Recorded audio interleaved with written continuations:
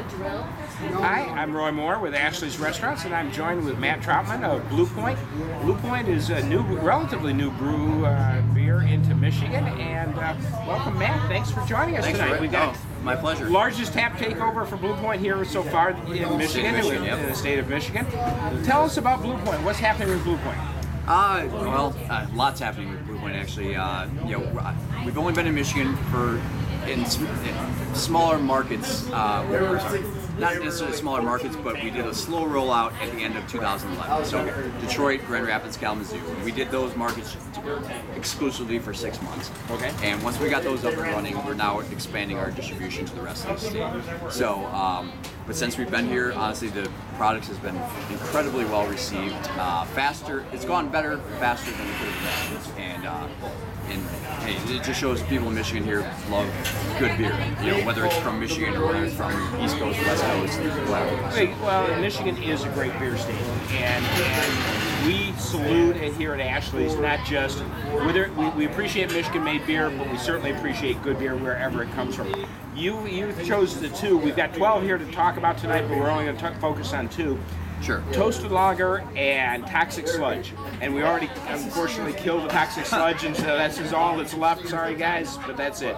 Tell me about these two beers. Well, Toasted Lager I have to always talk about because this is the beer. If without Toasted Lager, there would be none of the rest of the our, our portfolio. Toasted Lager is what put us on the map. It was the first beer we ever brewed in 1998, and it was the only beer we brewed for the first two years that the brewery's existed. So uh, it's an American style amber lager. Uh, it was kind of brewed in the spirit of Anchor Steam in terms of the best beer that, that, that Mark and Pete could drink on the island at the time, thinking 15, 16 years ago, was Bass. So they so there was nothing local, nothing fresh. You know, the, the best beer they could get was shipped, you know, over at the time, you know, when Bass was still made in Europe and shipped over. And so they couldn't do anything local. There was nothing local they could drink.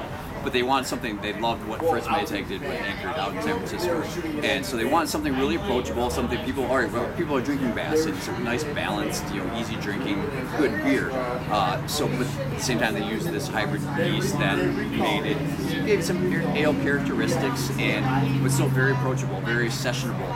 So they wanted something that the Long Islanders could drink. And, you know, honestly, once it took off in Long Island, it made it to New York City and exploded there. And, and so what put us on the map. It's the best of both worlds beer. It's, your domestic guy can drink toasted lager. Doesn't have that offensive hop, spicy hop note to It's a sessionable IPA. We talked earlier about. Not IPA, no, it's Well, a sessionable lager. a sessionable lager. It's Yeah. a bottom fermented, eh, but it has got some of the ale characteristics, Absolutely. and so it is more than just your light lagers, and and complements a lot of different foods. It is a very Oh, tasty beer. Ve- ve- Very versatile when it comes to pairing with beer. It, it, it, it obviously being brewed on from you know from where they're from, at the South Shore of Long Island, it's meant to pair well with a lot of seafood, a lot of shellfish, clams, oysters, Blue Point oysters, obviously where you know the name Blue Point Brewing Company came from.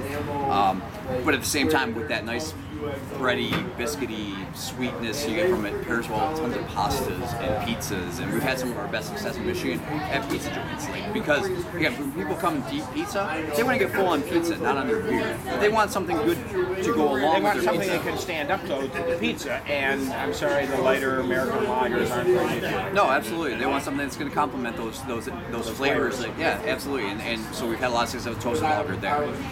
Toxic Sludge, very interesting name. Black IPA. Tell me about how you Uh, it's funny, yeah, because we get that question a lot. Like, why would you name a beer something you want to drink toxic sludge? And you know what? It, it actually is a great story behind it. And just to let people know what kind of guys Mark and Pete are. Mark and Pete are the two owners of Blue Point Brewing Company.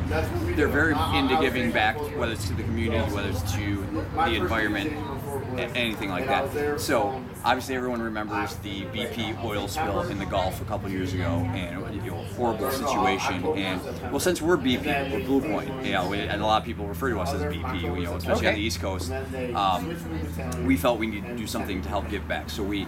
All right. Well, since we're BP two, we're going to come out. All right, BP Toxic Sludge, and we made a black IPA.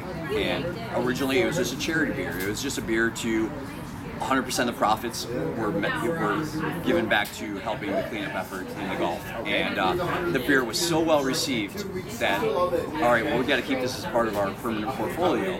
And originally, the guys thought, you know, we, we should change the name because it, maybe Toxic Sludge turns off a lot of people. Well, why would people want to drink this? But at the same time, it's, it's great to tell the story. And at the same time, if people aren't ready for to drink, if, if they're really hung up on a name, then maybe they're not, not ready for a black IPA anyway. So you know we're gonna keep the name the same, and uh, and so black black toxic sludge black IPA became a permanent part of our portfolio. And Well, I started out my evening with a glass. I'm glad I got it because this is all that's left in the building so far.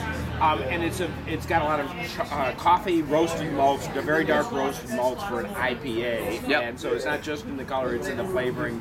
Very pronounced. Um, Yeah, but you still get that, but you Yeah. still get that greenness from the from the hops and Exactly. And, it, and actually, a great you know we actually our uh, World Expo beer was a couple weekends ago up in Frankenmuth, and you know it was our first Michigan beer competition we've ever entered, and uh, Toxic Sludge actually Sludge actually took uh, gold medal in the American Ale category for specialty beer. So you know it was uh, People appreciate Michigan appreciates it, and Absolutely. and I know we had a real popular day with the Cascade Festival and your white IPA here, and, and Oh, sure.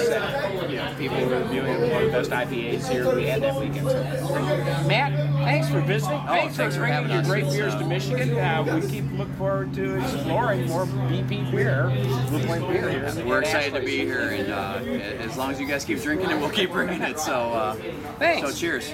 Cheers. Thank you very much. Happy. And it's not. Thanks. Okay. It's not.